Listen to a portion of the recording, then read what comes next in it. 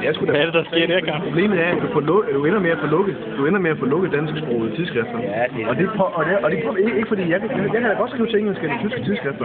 Men så skriver jeg om nogle andre ting. Altså, jeg skriver da ikke om dansk historie. Det kan også, det betyder en påvirke også, hvor, hvordan vi skal sætte tyngdepunkter. Det, øh. Godt, du tager notater. Så, altså, så, det, er så det er ikke helt, det er ikke helt for sjov. Altså, det, det er ikke, Der er ikke noget, der er sjovt her der er ikke noget, der er sjovt. Kan du så stoppe?